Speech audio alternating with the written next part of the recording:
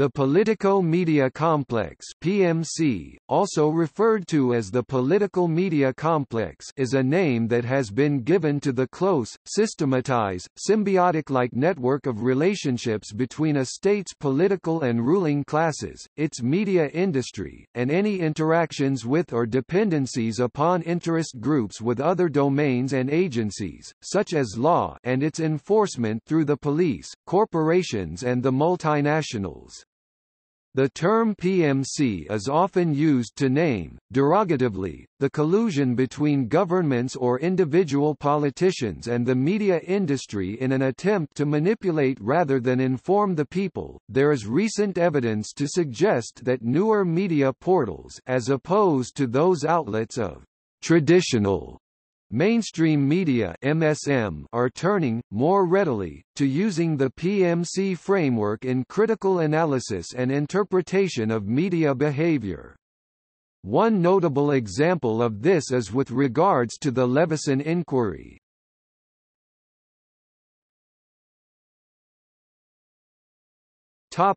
Early media institutions Before Johannes Gutenberg invented movable type in 1450, most information was delivered by town criers, ministers from the pulpit, or bartenders. Town criers spread information and news including royal edicts, police regulations, important community events and war news. These early methods of communication were often delivered by messengers on foot, and could be easily controlled by the ruling class. With the invention of the printing press news began to be spread in writing. Corantos, which were semi-regular pamphlets that reported news, are an example of the early Politico media complex. Popular in England, Corantos reported mostly foreign news, as the royal government attempted to control what domestic news reached the masses. Corantos eventually would become regular periodicals that were subject to less political control, and mark one of the earlier forms of industrialized media.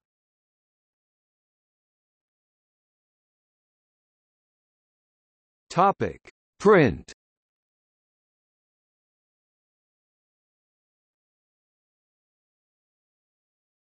Topic: Global print media. The Universal Declaration of Human Rights states, Everyone has the right to freedom of opinion and expression, this right includes freedom to hold opinions without interference, and impart information and ideas through any media regardless of frontiers. Most of the international papers present in the world today are national papers re-edited for a wider audience. Because of this, there can be biases based on nationality. In any publication there is some sort of bias just from what news is covered and what stories are shown at the forefront of the publication. Although print media in the West has suffered from declining advertising trends, many newspapers and magazines in the Middle East continue to do well. For countries in which the majority of the population does not have ready access to the Internet or television, newspapers and magazines are one of the few ways to get the news. However, the independence from political influence, and dependability of newsprint is questionable in many countries. The Reporters Without Borders Press Freedom Index suggests that even in many First World countries the rights of the press are not fully respected, and that the press is not completely free to investigate or criticize the government, though the situation is far worse in Third World or politically unstable nations.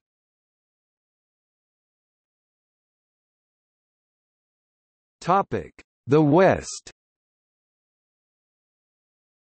Newspapers and magazines do have a back and forth between readers and journalists. Some studies have shown that the print media are more likely to reinforce existing political attitudes of the masses than change them. Reporters Without Borders, an international non-governmental organization that promotes freedom of the press, produces an annual Press Freedom Index assessing countries' press freedom. Reporters Without Borders Secretary-General Jean-François Julliard said at the release of the 2009 Press Freedom Index, it is disturbing to see European democracies such as France, Italy and Slovakia fall steadily in the rankings year after year. Europe should be setting an example as regards civil liberties. How can you condemn human rights violations abroad if you do not behave irreproachably at home?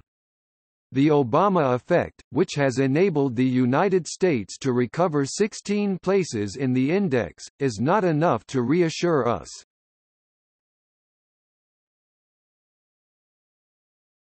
Topic: Asia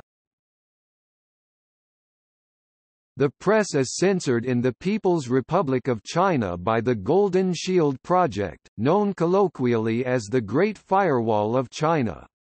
Reporters Without Borders ranks China's press situation as very serious, the worst possible ranking on their five-point scale. China's press was ranked 173rd out of 179 countries in the 2013 World Press Freedom Index. The Chinese government maintains the legal authority to censor the press, and in defense of censorship claims that the Communist Party in China has the most freedom of press, since there is no wealthy minority controlling it.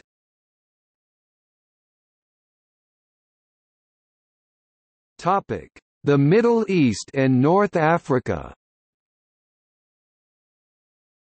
Middle Eastern print media is mainly paid for by private funders, either a specific family or specific government party. Some Middle Eastern newspapers and magazines have been accused of having obvious political ties. Many countries in the Middle East and Africa have harsh government restrictions as to what can be published when, for various reasons depending on political and economic circumstances. Iran, ranked 174 out of 179 in 2013, is described as highly censored, as the Iranian government maintains strict control over much of the print and broadcast media and news websites.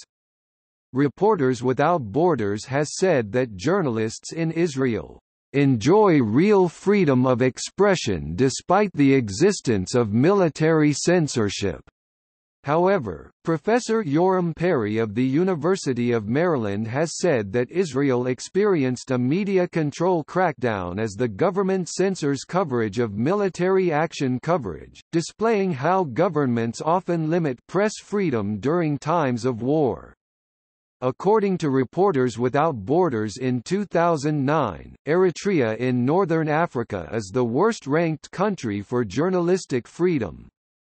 Eritrea is currently a one-party, transitional government, which has yet to enact its ratified constitution. Other African countries at the bottom of the 2009 Press Freedom Index include Syria 165 and Somalia 164. Both countries exhibit little journalistic freedom, and are both known for their unstable transitional governments and near-constant warfare.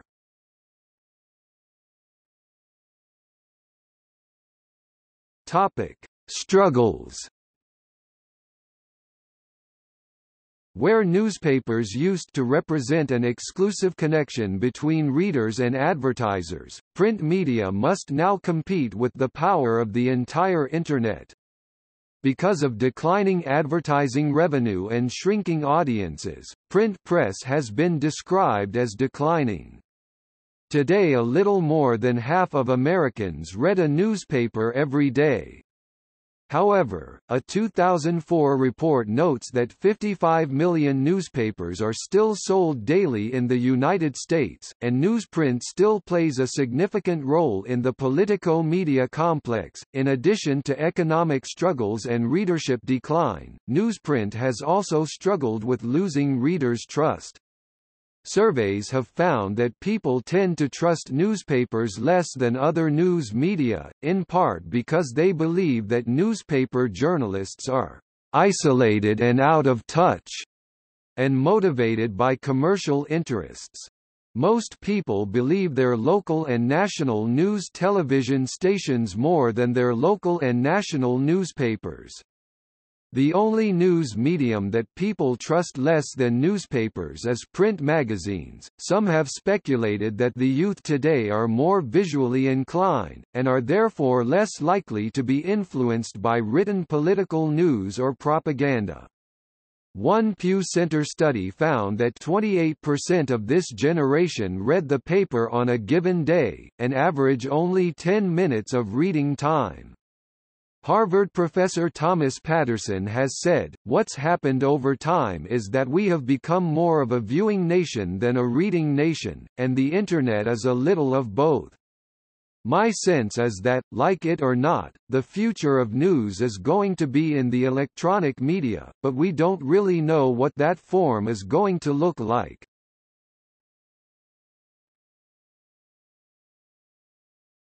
Topic: Radio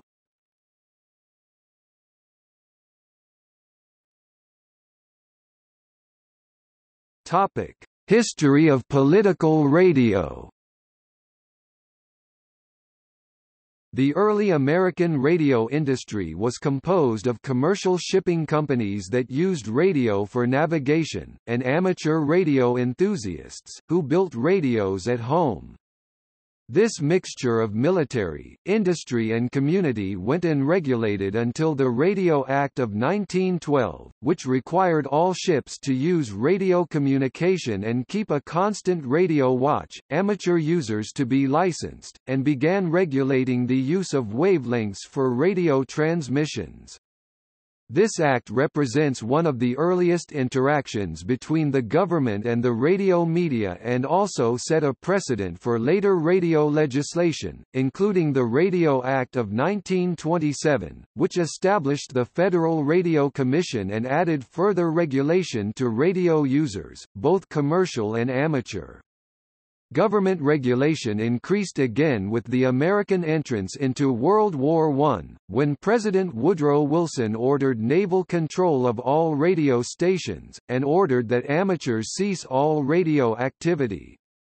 Jonathan Reed Winkler, a noted World War I historian, said it was only during World War I that the United States first came to comprehend how a strategic communications network the collection of submarine telegraph cables, and long-distance radio stations used by a nation for diplomatic, commercial and military purposes was vital to the global political and economic interests of a great power in the modern world.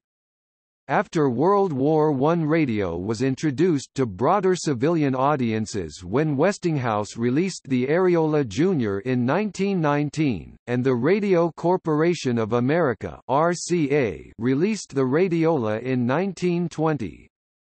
The Aeriola Jr. and Radiola helped establish a new channel for the Politico media complex to enter into thousands of American homes. By 1919 the oldest licensed American radio station, KDKA, from Pittsburgh, Pennsylvania began broadcasting regular music shows, and soon music, educational programming, sports coverage and eventually news coverage became popular. Coverage of politics quickly caught on across the countries, as stations began covering elections, and reporting news of government actions. The close politico-media complex between government and radio was finalized in 1924 when the Republican and Democratic national conventions were covered, and candidates made eve of election speeches, the first instance of radio broadcasting that was meant to affect the American political process. The numbers of radio users exploded. By 1935 about two in three American homes owned a radio. Politicians quickly learned to reach these huge audiences.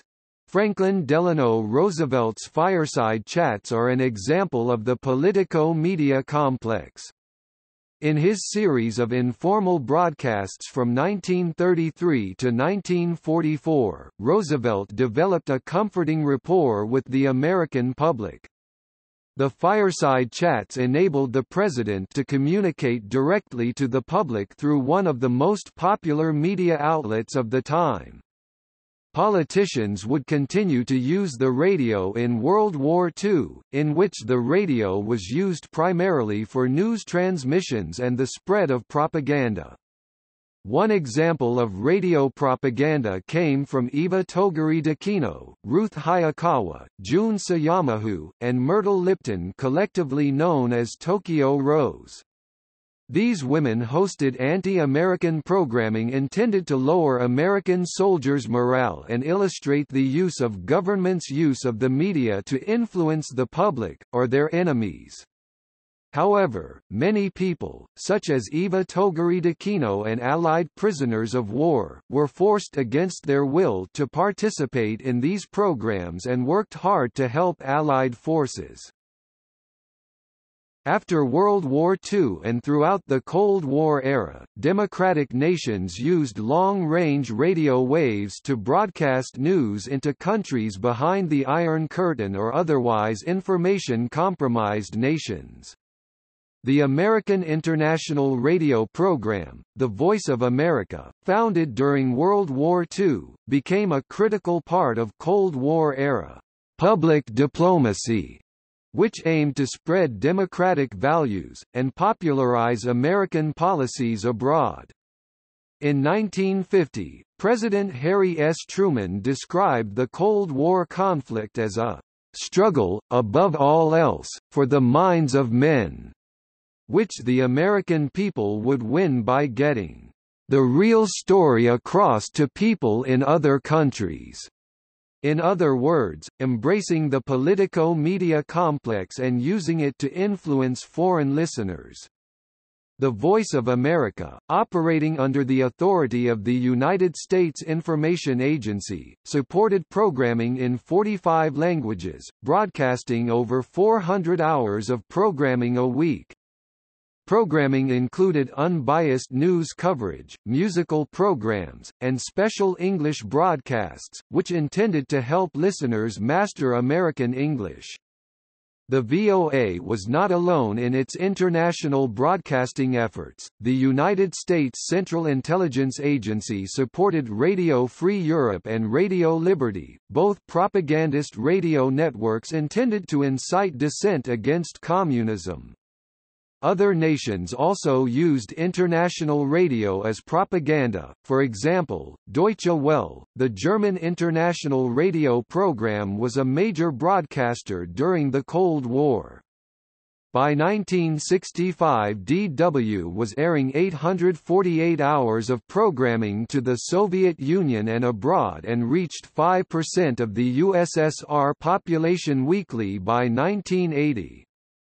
Deutsche Welle's mission to promote understanding of Germany as an independent nation with its roots in European culture and as a liberal, democratic, constitutional state based on the rule of law, illustrates German use of the politico-media complex.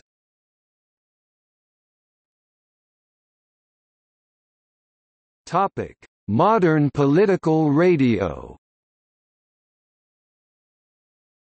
The golden age of radio may have only lasted from 1935 to 1950, yet radio is still an active medium in the politico-media complex. Today there is extensive radio programming on politics. One notable example is the Rush Limbaugh Show, which broadcasts the political commentary of Rush Limbaugh, referred to by listeners as America's Truth Detector, the Doctor of Democracy, and the Most Dangerous Man in America.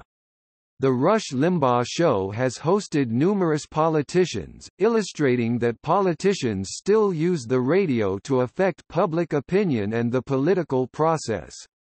The Air America Media Company, provides progressive political commentary and news coverage and has described itself as the most recognized progressive talk radio network, providing an independent and unfiltered voice to a grateful listening nation. Air America programs such as The Rachel Maddow Show, The Lionel Show, and Live in Washington with Jack Rice discuss recordings of politicians, host politicians as live guests, and act as a connection between the political classes and the media.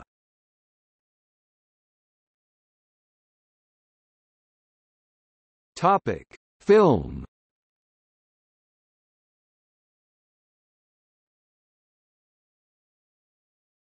Topic: National cinema. One of film's most powerful political and sociological forms is national cinema, for which there are entire books for individual countries and varying definitions. Through the national cinema, ideological groups within specific countries can construct and reinforce their collective identities through film, as well as the identities of foreigners.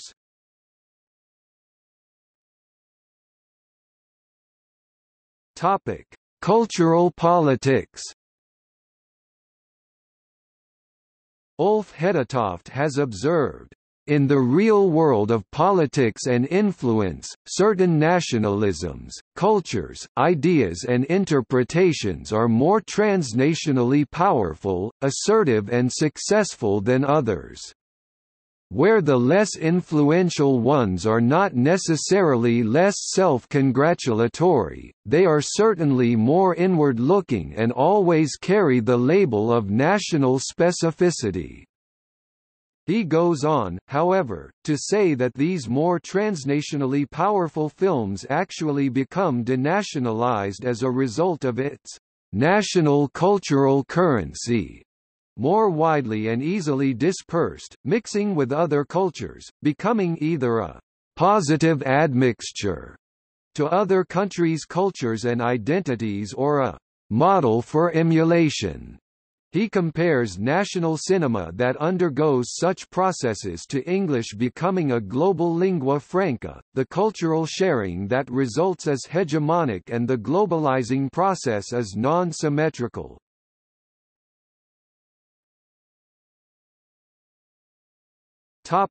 Propaganda Propaganda is a way that politics can be represented and manipulated in film. Leif Furhammar and Folke Isaksson credit Russian producers Sergei Eisenstein and Vsevolod Pudovkin with the birth of propaganda aesthetics, for which the underlying assumption was that by manipulating cinematic images representing reality, they could manipulate spectators' concepts of reality. Documentaries can be an even more effective form of propaganda than other genre films because the form of representation claims to mirror reality, making the manipulation of an audience that much more obscured. Such British newsreels as the Battle of the Somme of World War I were propaganda because they only showed the war from their own perspective, though it can be argued as being more honest and objective than more recent war documentaries for they were edited with without adjustments for dramatic or epic effect. Their photographers remained on their front lines, therefore presenting at least some truth. According to Furhammar and Isaksson, it was Russian filmmakers who were the masters of montage, who discovered film's power to create convincing illusion with cutting, rhythmic editing, and a didactic approach. When sound became possible, documentaries have been said to become more politically powerful with the use of speakers' voices and music. In Nazi Germany, newsreels were just as important as feature films, while in Fascist Italy propaganda was mostly limited to documentaries.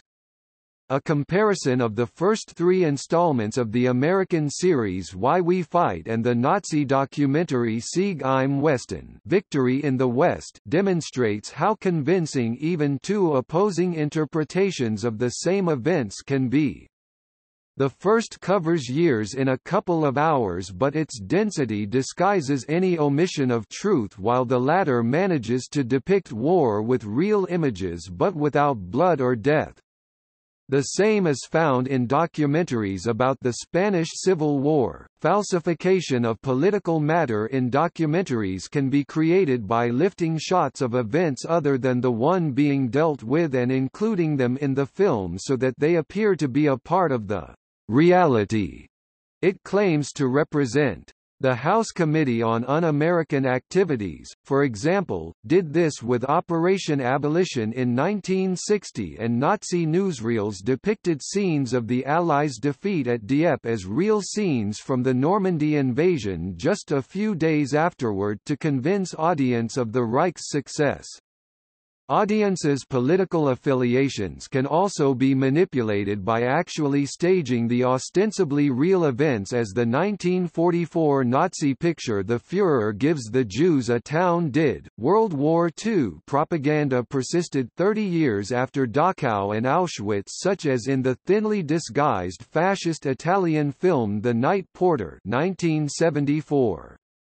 The film sought to legitimize the Nazis' genocide, while glorifying sadism, brutality, and machismo. What amazes Henry Giroux, as he explains in Breaking into the Movies, is that such blatant ideological messages were ignored by critics and the general public. That society may be incapable of testing the present against the past has implications for post-industrial oppression in the West and the strategies for resisting it.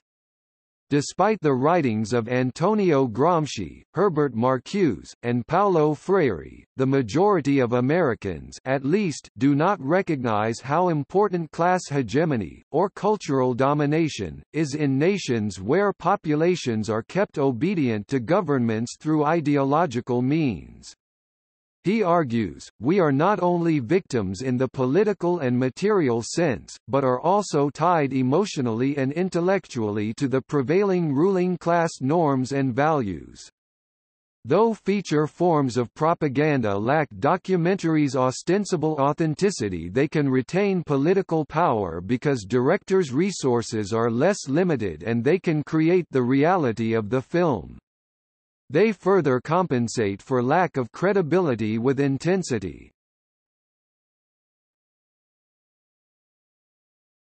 Topic: Anti-politics in film. Despite the strong patriotism and nationalism of Americans, overtly political films have never been popular in the U.S. while films that have represented politics inconspicuously such as in the form of propaganda have remained popular. Besides Frank Capra, no other major American filmmaker has seriously presented central themes of citizenship, participation, and responsibility in civic life amidst the complexities and corruption of the political world. While Capra sought to develop a positive American cinematic vocabulary for political action of the individual, as Charles Lindholm and John A. Hall describe, he ultimately failed. Capra's films are characterized by the same basic formula according to which the fundamental American values of fairness and honesty are challenged by the corruption and cruelty of politics. Ronald Reagan later extensively quoted the speech made by Mr. Deeds in Mr. Deeds Goes to Town 1936 in which he expresses his disgust with the complexities of politics and calls for individual goodness. In his next film Mr. Smith Goes to Washington, 1939, Capra reinforces the integrity and decency of the everyman who can transcend politics despite the power and crookedness of special interest groups. After the hero of Meet John Doe realizes his need for others, he discovers and attempts to expose a fascist bidder for presidency planning to take advantage of his club support. He fails, however, in the midst of a violent mob with the depressing conclusion that the American public is a credulous crowd, susceptible to manipulation until the John Doe Club members come begging his forgiveness and convince him to return to lead them. The ending of John Doe was unsuccessful amongst audiences and critics, discouraging any more political films for Capra and no films of merit after It's a Wonderful Life. Capra's ultimate fall from filmmaking and his advice that all American filmmakers should forget politics if they do not want to cut themselves in half signify the challenge filmmakers face when they attempt to criticize politics. Lindholm and Hall observe that the problems that defeated Capra have also undercut later attempts by American filmmakers to portray the complex relationship between individualism and citizenship in the United States and claim that Hollywood has instead adopted the paranoia of politics that Capra had tried to overcome.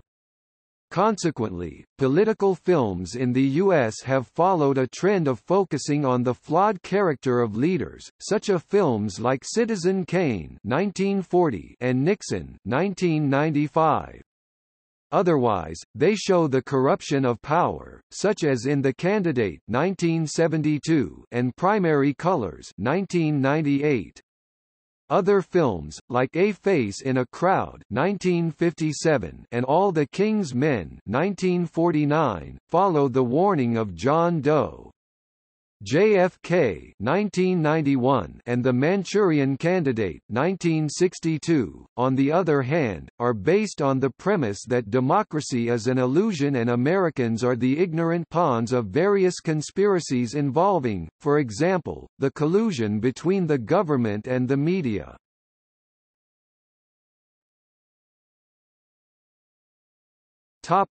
The depoliticizing effect of cinema. While films can be overtly political they can also depoliticize and oversimplify what is inherently complex, such as class struggle. Film, as it contributes to mass culture, has been criticized for reducing the concept of class to stereotypes and predictable formulas that promote superficial understandings of ideology. Such misrepresentation and the ignorance that it promotes and perpetuates has been said to make audiences and citizens vulnerable to manipulative tactics of politicians in a reality that is complex. One of the exceptions to oversimplification and ideological flattening in cinema has been said to be Norma Rae 1979, a film that presents a truer representation than is conventional of the complexities and politics of the working class struggle and culture at the level of everyday life.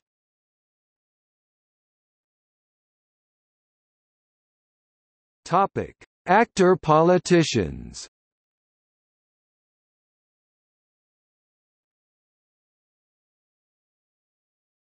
Topic: Television.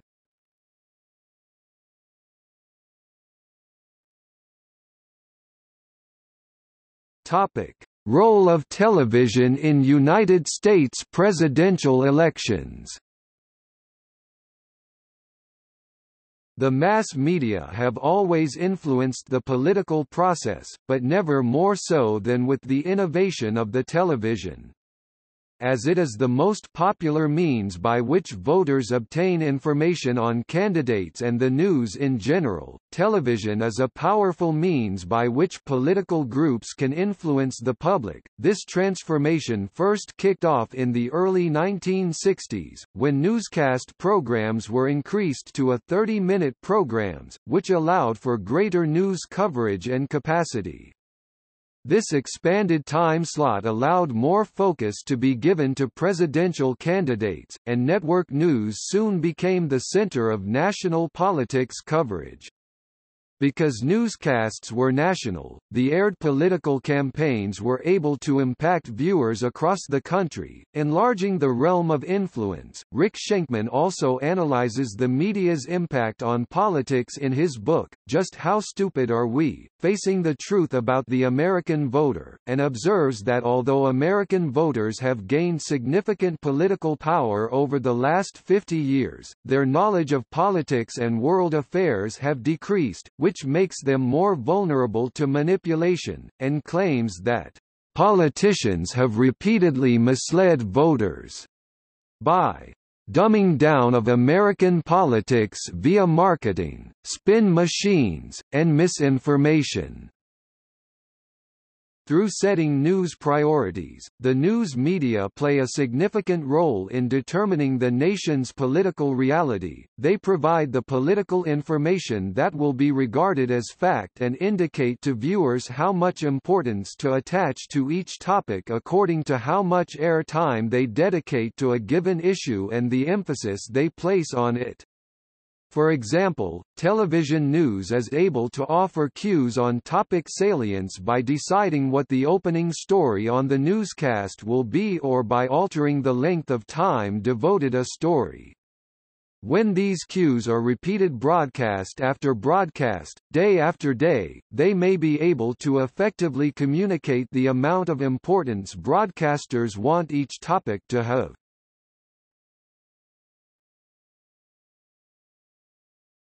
Topic: Political influence on religion via television. In his book, Politics After Television, Religious Nationalism and the Reshaping of the Public in India, Arvind Rajagopal examines Hindu nationalism during the late 1980s and 1990s in India. Rajagopal analyzed the role of the media in the public's construction of national, cultural, class, and regional identity. More specifically, he studied the hegemonic role of the Ram Janmabhoomi movement and how the Ram project was played out on Indian national television. In his study, Rajagopal found that the Ram project played a role in shaping discourses about national and cultural identities through the 1990s to the present. In India, Rajagopal investigated the cultural and political economy of television in contemporary India. His discussion of television revolves around the industrial and cultural politics of the serialized epic Ramayan. The serial epic, which generated unprecedented viewership, was based on the epic story of the Hindu god Ram and aired on Doordarshan, India's state-run television. Rajagopal made the argument that the national telecast of the Hindu religious epic Ramayan during the late 1980s provided much of the ideological groundwork for the launch of the Ram Janmabhoomi movement. To defend his argument, Rajagopal stated that, "...television profoundly changes the context of politics."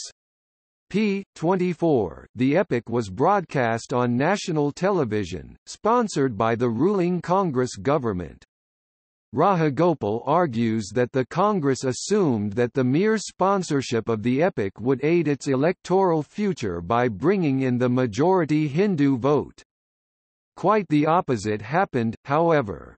Rather, it was the electorally weak Hindu nationalist political body, the Bharatiya Janata Party (BJP), that benefited from the serial's popularity.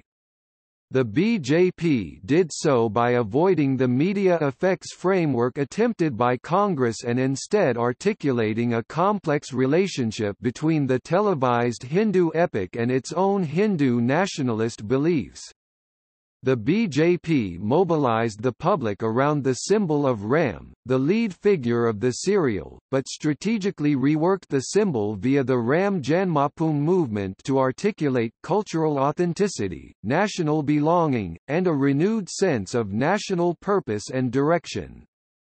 Articulating the temple restoration project within its electoral promise, the BJP, not surprisingly, went on to form the national government in the next general election. p. 43 This illustrates that, as Rajagopal argues, television is capable of profoundly impacting politics.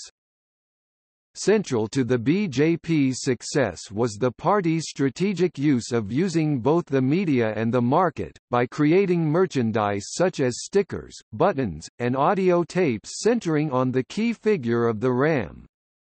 Rajagopal argues that the televised epic also dealt with the tension between the past and the present at many levels. This can be seen in the reworking of the epic story of the Ram to fit the conventions of modern commercial television.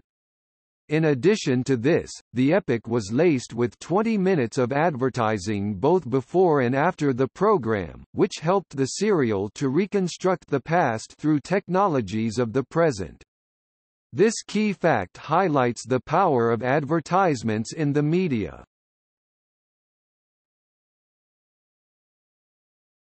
Topic: Television and politics around the world. In the Dramas of Nationhood, The Politics of Television in Egypt.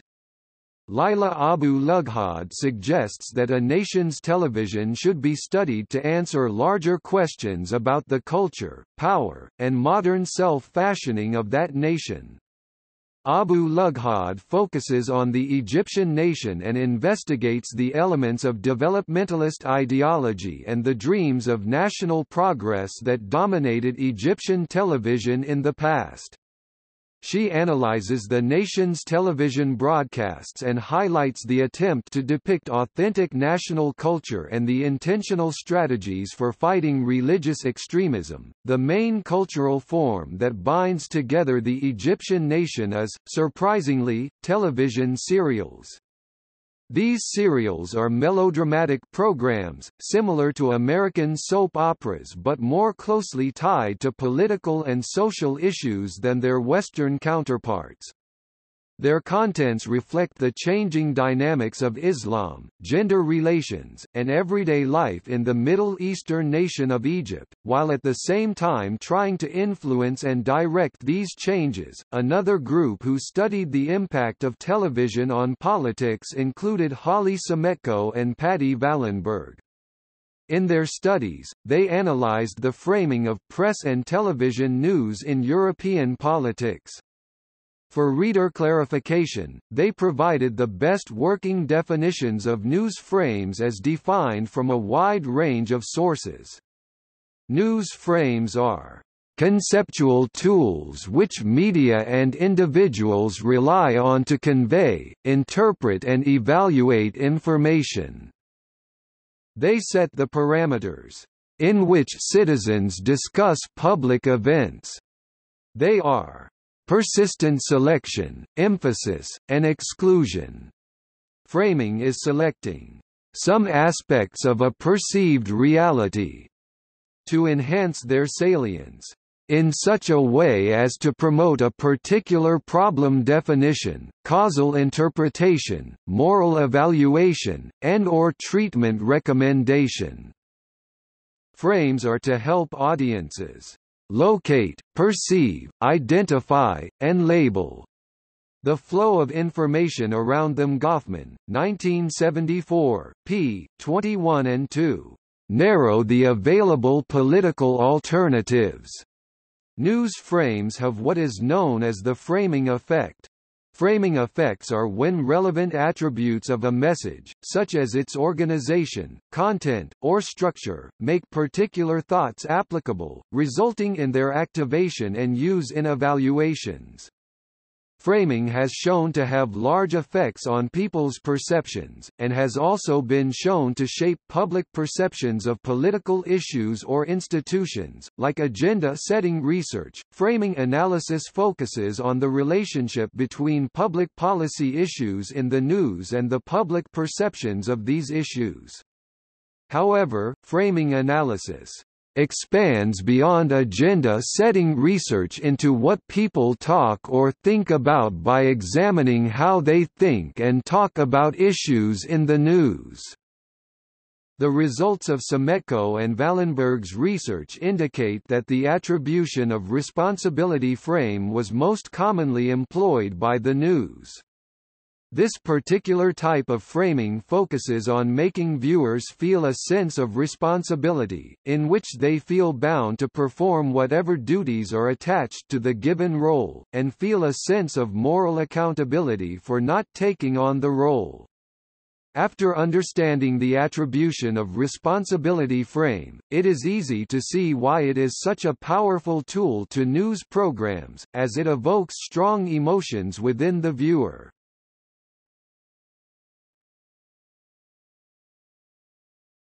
Topic: Internet.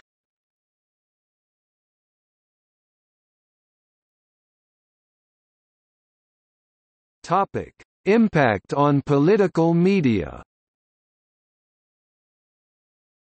The Internet, particularly in the form of the World Wide Web, the web has given the world a tool for education, communication, and negotiation in political information and political roles and its use by individuals and organizations has increased and continues to increase, greatly. This rapid increase can be compared to the boom of the television and its impact on politics as a form of media. The Internet also opens up a world of commentary and criticism which in turn allows for new and better ideas to circulate amongst many people. It gives multidirectional communication, which allows people to stay in connection with organizations or people associated with politics more easily. However, there are many controversies regarding the Internet with respect to the PMC as it the Internet can encourage and facilitate the practice of providing bits of information extracted from a far wider context or biased information, which leads to public cynicism toward the media. The relative ease of entry into publishing through Internet, web channels yields opportunities, for those so inclined, to become, in the extreme, one-person control contributors, players, with a foot on both sides of the fence, politics and media, in the PMC and sometimes information, placed into the public domain through such channels, about a political entity politician, party etc., being perhaps less than flattering, may be adjusted by one or more other entities individuals, organizations etc. with publishing identities that barely, if at all, conceal a relationship with the political political entity in question. For example, Wikipedia itself is a major global channel, currently being around the eighth most visited website. In 2009 found its objectivity being compromised at the highest levels with a conflict of interest of a sitting member of the influential arbitration committee ARBCOM. It was shown that David Boothroyd, a serving Labour Party councillor for Westminster City, had gained a seat on the arbitration committee under the pseudonym of the Wikipedia account Sam Blacketer and also, under this name, had gone on to make controversial edits to the Wikipedia entry for the then leader of the opposition, later Conservative Prime Minister of the United Kingdom, David Cameron. Boothroyd was also found to have operated earlier, before his appointment to the arbitration committee, but while an administrator, other contemporary accounts, a practice in Wikipedia known as sock puppetry enabling the practitioner to give undue weight, through appearing as different identities, to a particular point of view as opposed to representing a neutral point of view NPOV. Given Wikipedia's presence and influence in the world, the affair attracted mainstream media, and other new media attention nationally and internationally, contributing damage to Wikipedia's standing along the way. Boothroyd was forced to step down from the arbitration committee, although he claimed he had already asserted his intention to resign. The impact of the Internet on politics has been notable, as this form of media has more current information than others since it is constantly being updated. Another advancement is its capacity to have extensive information in one place, like voting records, periodicals, press releases, opinion polls, policy statements, speeches, etc. Obtaining a comprehensive understanding of an election, for example, is more convenient than it has been in the past. Political information available on the Internet covers every major activity of American politics. Users, nonetheless, remain susceptible to bias, especially on websites that represent themselves as objective sources. Email has achieved a large scale of usage amongst numerous levels of government, political groups, and even media companies as a means of communicating with the public and thus plays a significant role in the political media complex. The boom of email hit the Internet and the public in the mid-1990s as a way to keep in touch with family and friends. Different governments got a hold of this technology, and in 1993 the United States Congress and the White House were using this as communication as a means of communicating with the general public. During the Clinton administration a director for email and electronic publishing was appointed and by the summer of 1993, the White House was receiving 800 emails per day. In order to deal with the influx of email a more sophisticated system was put in. In a six-month period, at one point, there were half a million emails sent to the President and Vice President.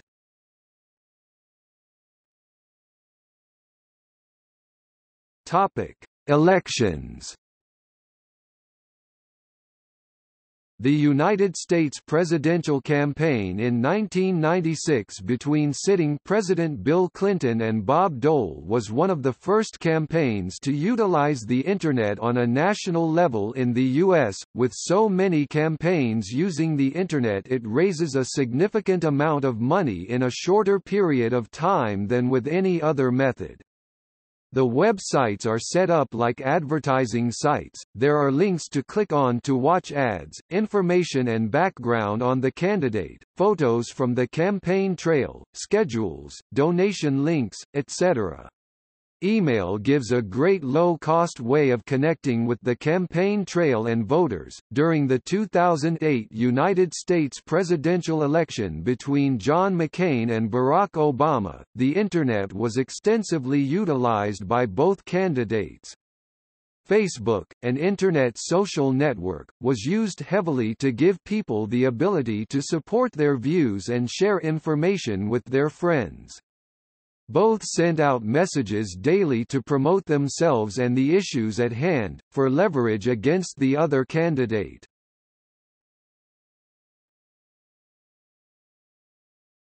Topic: Discussion forums. Blogs are a type of website, usually maintained by an individual with regular entries of commentary, descriptions of events, or other material such as graphics or video. Blogging started to become popular at the start of the millennium, and was used mostly by highly educated, highly paid, males.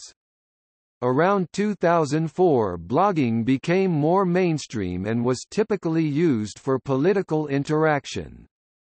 Many political campaigns use this as a stake in monitoring blogs and actively using them to spread information about their candidate. The Internet creates a space in which people can voice their opinions and discuss political issues under the protection of anonymity. Some discussion forums are actually groups or organizations that set up discussion for a specific purpose about one issue or person in politics. Some problems with discussion forums include the lack of personal contact, which allows people not to take responsibility for posts, such as personal attacks on others. Bias is another issue of online discussion forums because many websites attract like-minded individuals, making it less likely for alternative perspectives to be introduced.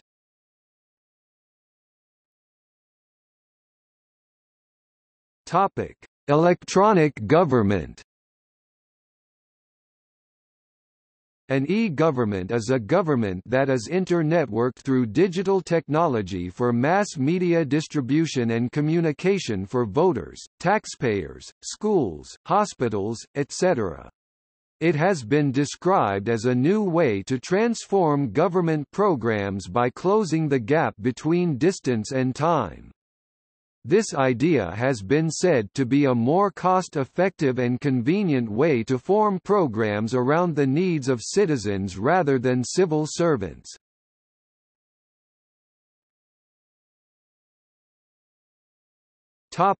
UK media phone hacking scandal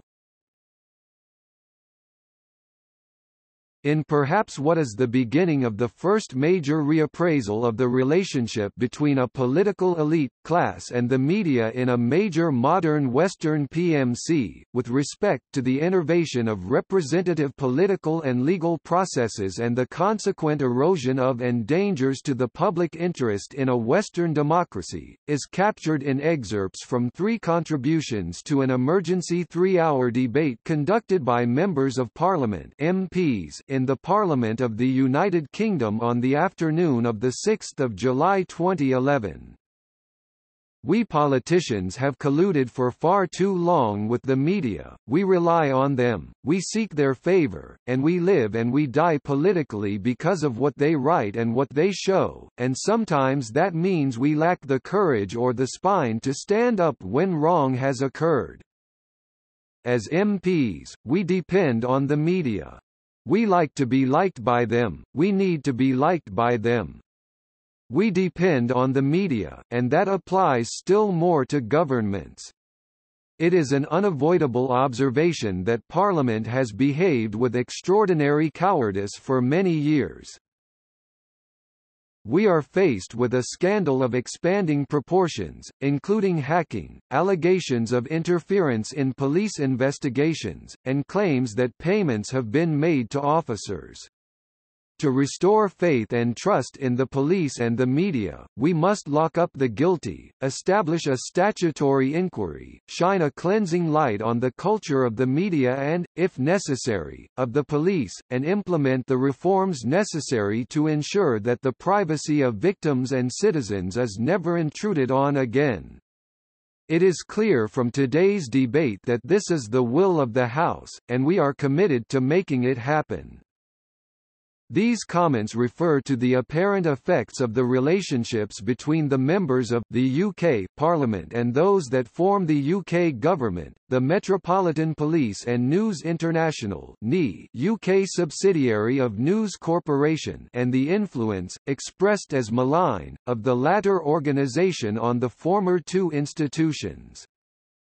The debate was precipitated by the type of some of the information procurement methods found to have been used by a major British Sunday newspaper. The title is now shut down. The News of the World was owned by NE now known as the News International phone hacking affair, the consequences for the British PMC and NE as part of the world's second-largest media empire after the Walt Disney Company are likely to be unfolding for some considerable time as new sectors of vulnerable members of British society subjected to the particular malicious practice are brought to light. The parliamentary turmoil resulted in the UK government instituting a three-pronged public public judicial examination into the relations and interactions between the media and the public, the media and the police and the media and the politicians. Known as the Leveson Inquiry, its findings were published November 29, 2012 based on a spread of around eight months November 2011 to June 2012 of probing into the relationships. While the Leveson findings are obviously oriented toward the PMC of the UK, some commentators argue that its findings will have global implications through their relevance to similar existing networks in other countries.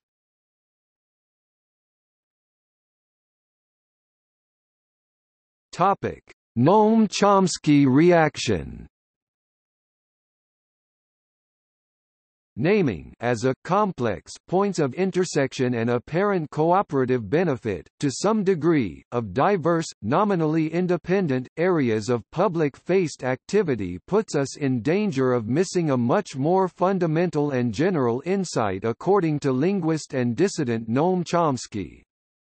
Such identifiable collaborations, collusions are almost to be expected and are a natural outcome to the working of the industrial system, as it has evolved in the West, having the taxpayer-funded sector at its core that is as opposed to the contemporary conventional wisdom, with a hard and fast distinction between the state and private sectors. The economist John Kenneth Galbraith has also argued that the two sectors represent an innocent fraud and has blamed its existence on the socialization of costs and the privatization of profits. Chomsky discusses the military-industrial complex MIC and argues that its embedded behavior is not just about the military but is about ensuring that the modern economy, of which that behavior emptied of particularly military connotations is at the heart, is nothing much to do with freedom of choice or democracy either.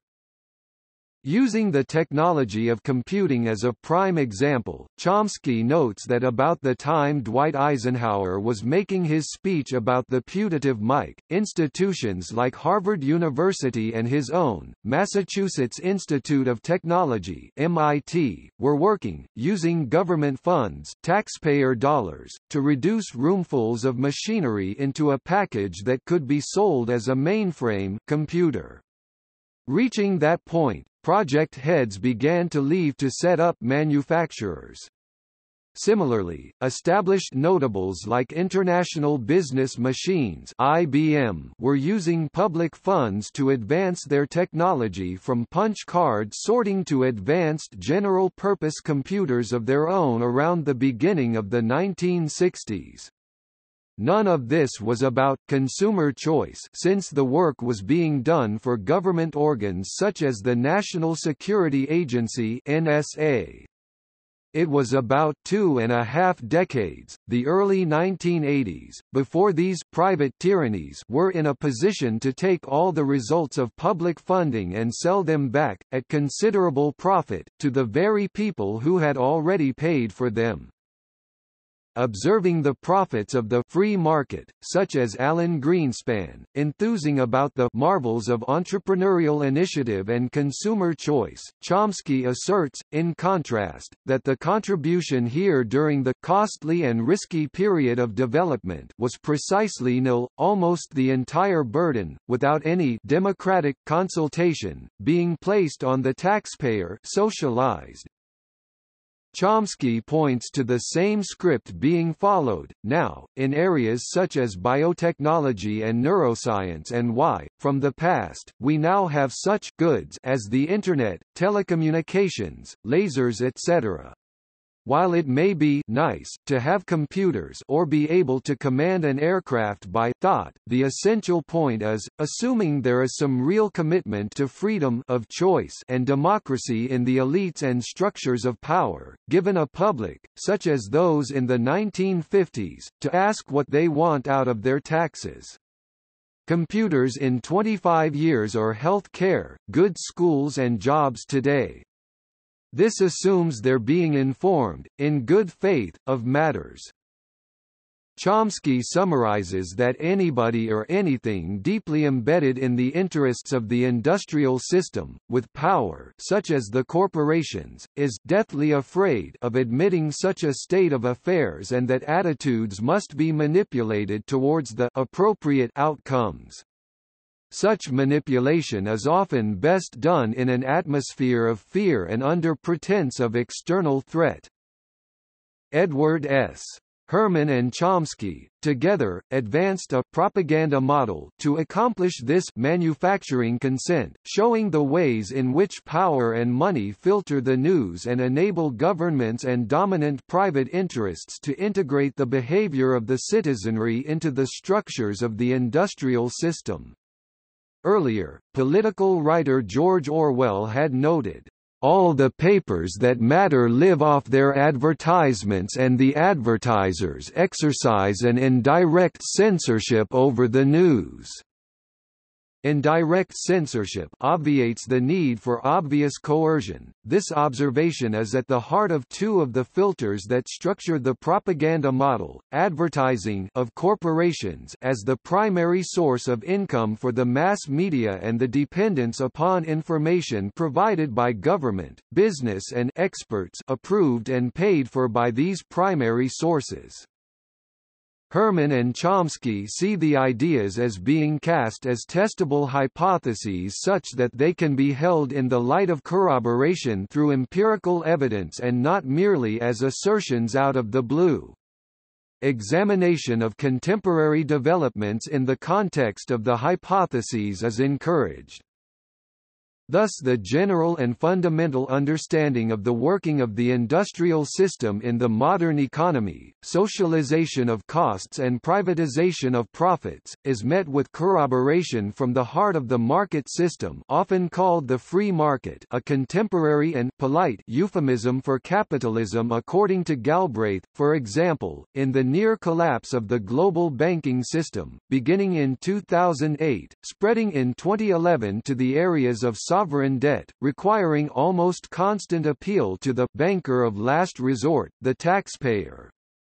Under debt restructuring, good debt is returned to private hands as soon as possible and the taxpayer is left saddled with the bad debt which is probably unrecoverable, the shadow that the corporations cast on the media through advertising. Corroboration of Herman and Chomsky's propaganda model filters through advertising was illustrated in the closure of News International's 168-year-old flagship Sunday title, The News of the World, when major advertisers boycotted the paper as a consequence of the phone hacking scandal the corporations, understandably, not wishing to be seen associated with a paper whose production had been based on frequent engagement in serious criminal activity. From Chomsky's perspective, then, whatever set of interactions is being named by the term Politico-Media Complex PMC simply instantiates the propaganda model to manufacture consent in the service of the industrial system.